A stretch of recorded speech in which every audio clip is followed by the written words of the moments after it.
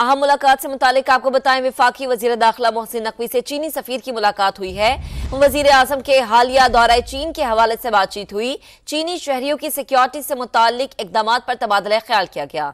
इसी पर बात करेंगे नुमाइंदे खसूसी कमरुल मुनवर हमें ज्वाइन कर चुके हैं। कमर, इस मुलाकात से मुतालिक बताइएगा।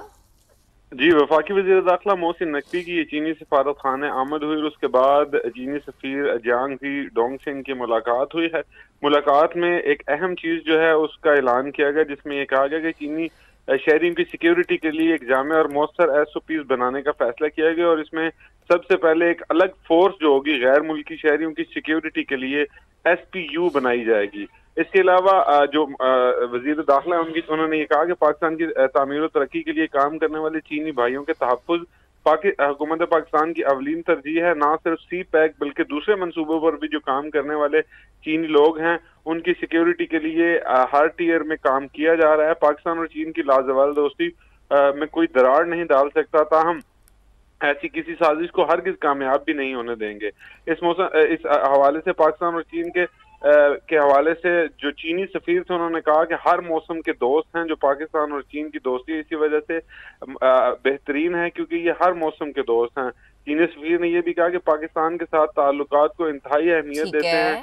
ताहम इस मौके पर जो वफाकी वज़ीर दाखिला थे उन्होंने भी इस मामले में चीनी सफीर की वफाकी वजी दाखिला मोहसिन नकवी की चीनी सफारत खाने आमद हुई और उसके बाद चीनी सफीर जियांग जी डोंग सिंह की मुलाकात हुई है।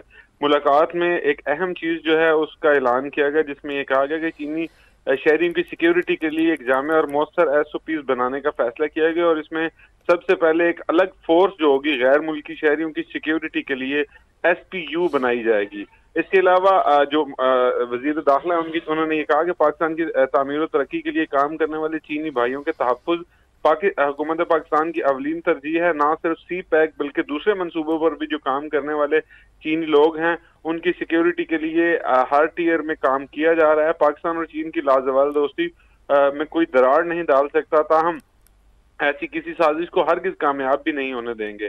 इस मौसम इस हवाले से पाकिस्तान और चीन के के हवाले से जो चीनी सफीर थे उन्होंने कहा कि हर मौसम के दोस्त हैं जो पाकिस्तान और चीन की दोस्ती इसी वजह से बेहतरीन है क्योंकि ये हर मौसम के दोस्त हैं। चीनी सफीर ने यह भी कहा कि पाकिस्तान के साथ ताल्लुक को इंतहाई अहमियत देते हैं।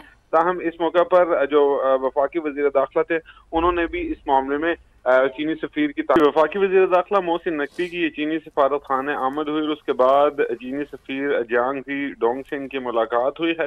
मुलाकात में एक अहम चीज़ जो है, उसका ऐलान किया गया, जिसमें यह कहा गया कि चीनी शहरी की सिक्योरिटी के लिए एक जाम और मौसर एस ओ पीज बनाने का फैसला किया गया और इसमें सबसे पहले एक अलग फोर्स जो होगी, गैर मुल्की शहरियों की सिक्योरिटी के लिए एस पी यू बनाई जाएगी। इसके अलावा जो वज़ीर दाखिला उनकी, उन्होंने ये कहा कि पाकिस्तान की तमीर तरक्की के लिए काम करने वाले चीनी भाइयों के तहफ़ हुकूमत पाकिस्तान की अवलीन तरजीह है। ना सिर्फ़ सी पैक बल्कि दूसरे मनसूबों पर भी जो काम करने वाले चीनी लोग हैं, उनकी सिक्योरिटी के लिए हर टीयर में काम किया जा रहा है। पाकिस्तान और चीन की लाजवाल दोस्ती में कोई दरार नहीं डाल सकता, ताहम ऐसी किसी साजिश को हर किस कामयाब भी नहीं होने देंगे। इस मौसम इस हवाले से पाकिस्तान और चीन के के हवाले से जो चीनी सफीर थे उन्होंने कहा कि हर मौसम के दोस्त हैं जो पाकिस्तान और चीन की दोस्ती इसी वजह से बेहतरीन है क्योंकि ये हर मौसम के दोस्त हैं। चीनी सफीर ने यह भी कहा कि पाकिस्तान के साथ ताल्लुक को इंतहाई अहमियत देते हैं। ताहम इस मौके पर जो वफाकी वज़ीर दाखिला थे उन्होंने भी इस मामले में चीनी सफीर की तारीफ़ की। ठीक है कमर आपका बेहद शुक्रिया।